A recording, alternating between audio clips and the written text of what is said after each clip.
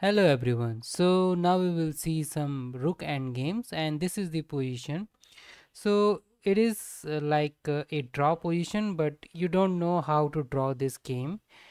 But uh, yes, if uh, there is white play first then we can go with the rook d8 and then try to eliminate this or maybe exchange.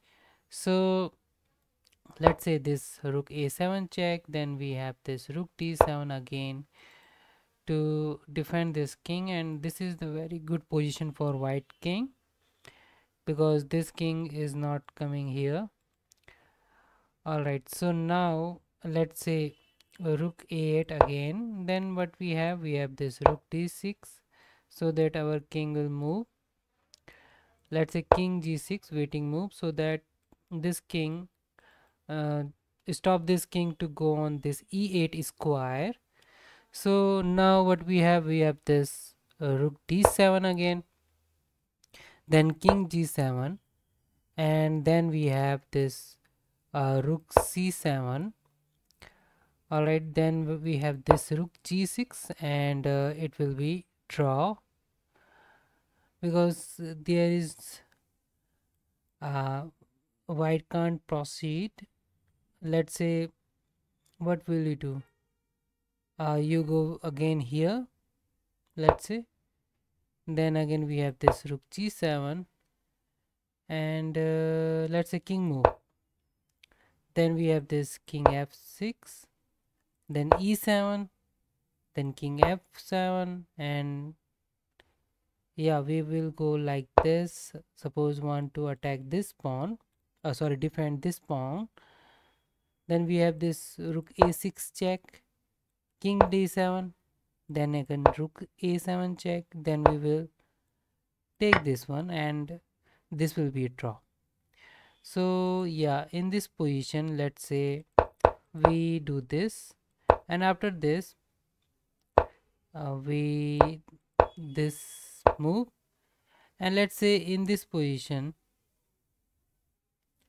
uh, black yeah white to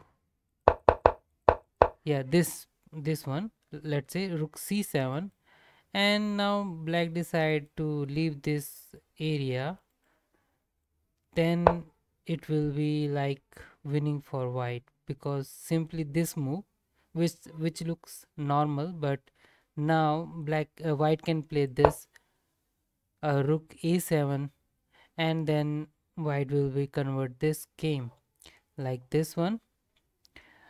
So here now white can convert this game into Lucena position which is winning for white. So simple procedure is like uh, go for king d6 check. Then you can go king f6 then king d7 and this is king g6 and now rook will go here. Then we simply go with this file let's check again. Then we will go here attack this rook. Then rook will go here on b2 then we will defend our pawn first. And then let's check then second check and king will go here. And next move this pawn push and this is a Lucena position. So you know after that what will you do? Because this uh, rook check is here then king move let's say then uh, maybe rook want to come on f4 cut this king first and go f4 and uh, then king will come here maybe let's say then rook come again in this file. So we can promote this pawn in that way. Yeah.